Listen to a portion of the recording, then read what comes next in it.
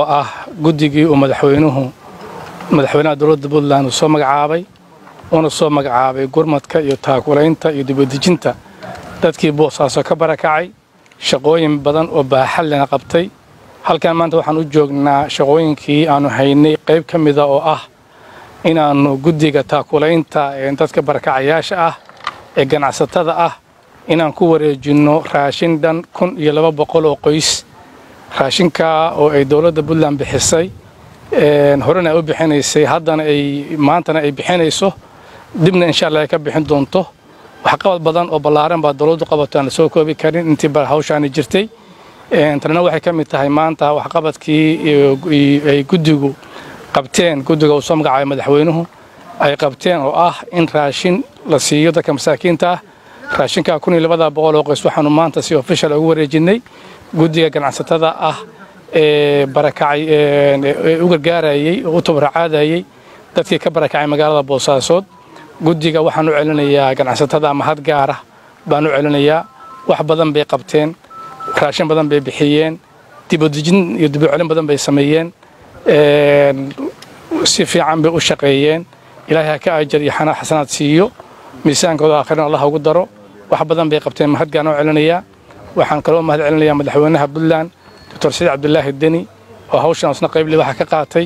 Sidoo kale waxaan mahad celinayaa guddiga golaha xukuumadda ah ee shaqadooda ka soo bilaabay carmo oo ay joogeen dad badan oo barakacyaal oo ilaa lix kun ay gaaraysa iyo tuulooyinka kale oo barakacyaal badan meeshii u qaxeen. Dhammaan dibadejintoodii iyo waxsiintoodii guddigu hawshii sidii la rabay bay u qabteen. Jasaakum allahu khayr baan leeyahay intaan baan ku soo gabagabaynayaa raashinkaa kun oo qoysaan maanta ku wareejinaynaa annagoo ah guddigii madaxweynuhu soo magacaabay ee golaha wasiirada ahaa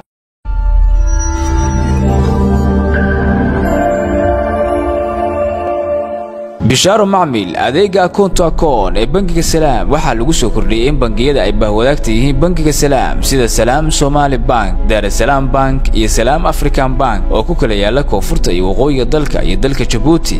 Aad u wareejin kartid ama aad dhigan kartid lacagaha ku yaalla bangiga salaam si balaash ah.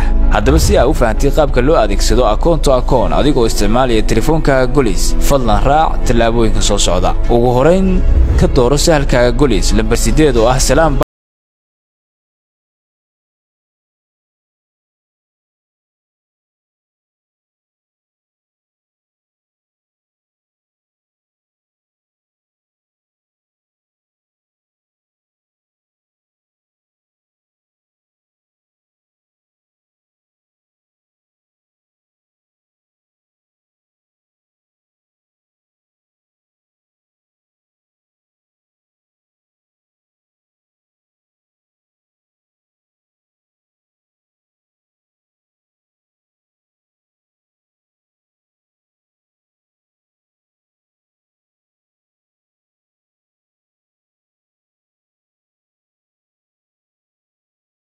lacag wareejintii waxaana kuu fududeeyey bangiga salaam